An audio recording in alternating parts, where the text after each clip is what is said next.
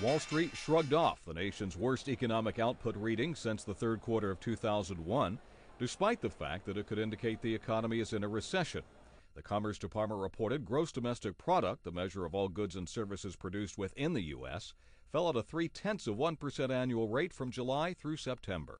That really shows a dramatic behavior change. Obviously, the credit crunch is stressing uh, consumer finances, but also it seems as if people are, uh, to some degree, proactively uh, uh, cutting back on what they spend.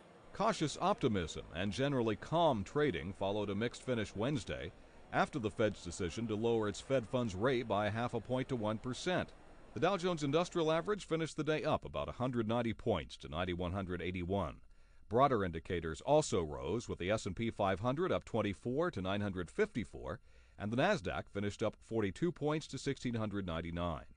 Well, I think the day ended up because investors and traders are basically feeling that maybe Monday's closing low on the S&P 500 of 848, at least in the near term, might be some sort of a bottom.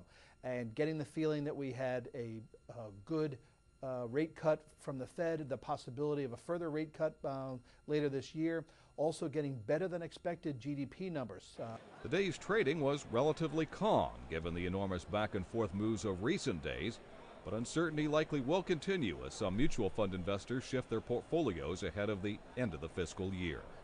Mark Hamrick, The Associated Press.